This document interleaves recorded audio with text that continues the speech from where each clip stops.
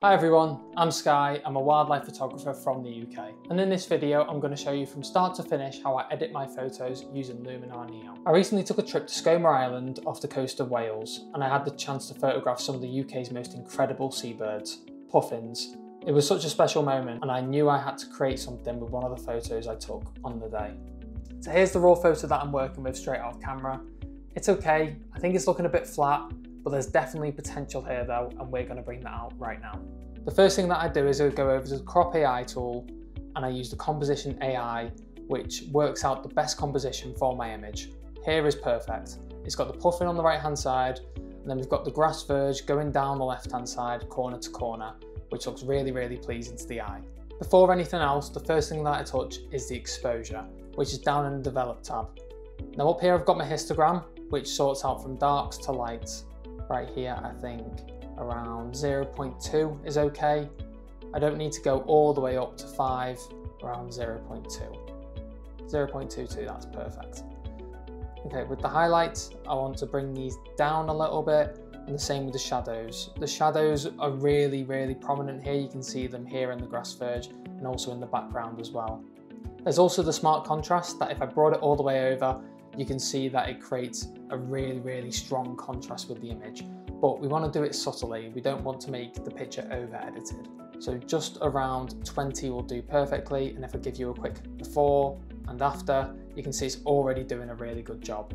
The next thing I'm going to do is I'm coming over to the curve section and I want to create two dots and just create a slight little S curve in the image. Now just from this, we can see that the highlights are a bit too strong. You can see in the puffin's fur there. So I'm just going to bring that down slightly.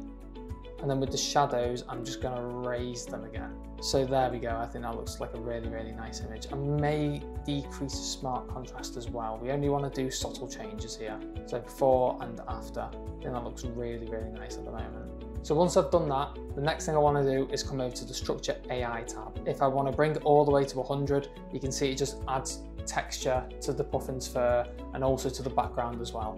We don't want to overdo it, we want to make subtle changes again. So we'll bring it to around 10 and then we'll bring the boost up just a little bit. If we brought the boost all the way up, you can see it adds a lot of texture. You can really see it in the puffin's belly over here. But again, subtle changes, so we'll keep it about five. So before and after, you can really, really tell if I zoom in close, before, after. So I'm really liking where this is going, but ultimately we want to bring the viewer's eye onto the puffin. And the way you can do that is through masking. So if you come over to the develop tab again, it's all reset for you. You go over to masking, linear gradient, and this will create a gradient across the image if you just drag up from the bottom left corner and you go to adjustments and bring the exposure down slightly and also bring the shadows down.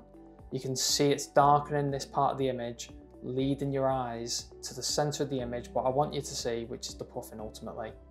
So before and after. Really, really bringing that focus to the puffin. That is what we need from this image.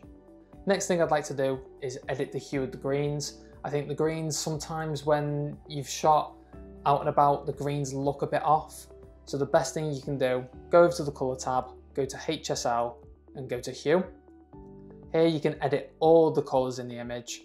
I want to bring the greens a bit closer to the yellows, so I'll drag, drag it over to the left here. And then I'm also going to bring up the saturation just to make it pop a little bit more and before and after. I'm really really liking how that's looking there. And then finally sometimes when I'm using the contrast tools sometimes it doesn't really give me the desired effect that I want from the image so what I'd like to do is come over to the super contrast area where you can edit the highlights, midtones and shadows all independently from one another, which is really, really good. I'm just gonna increase the highlights contrast. If I brought it all the way across, you can really tell on the puffin here. So we still wanna keep it really bright, so we'll just have it about, I think eight perfect there. The midtones, you can really see it's affecting the grass in the background. So I'll have that a bit higher. I'll have it on 15, 14. Yeah, that's perfect. And then with the shadows, the shadows, I think I might leave it really, really low, maybe about three. Yeah, that looks really, really nice there. Okay, and the last place we're gonna come up to is the color harmony tab.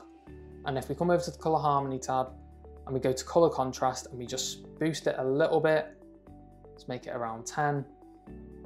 It really brings out the colours, but it really keeps it natural as well. It doesn't look over edited in my opinion. I think it looks natural and it keeps the theme of the image. So that's my usual editing process from start to finish. I hope this video has helped when it comes to editing your wildlife images. We started with a flat image and used a few simple tools in Luminar Neo to bring out more clarity, depth and focus, especially around the subject. If you found this helpful, feel free to like the video, drop a comment and let me know what you'd like to see next. Thank you for watching.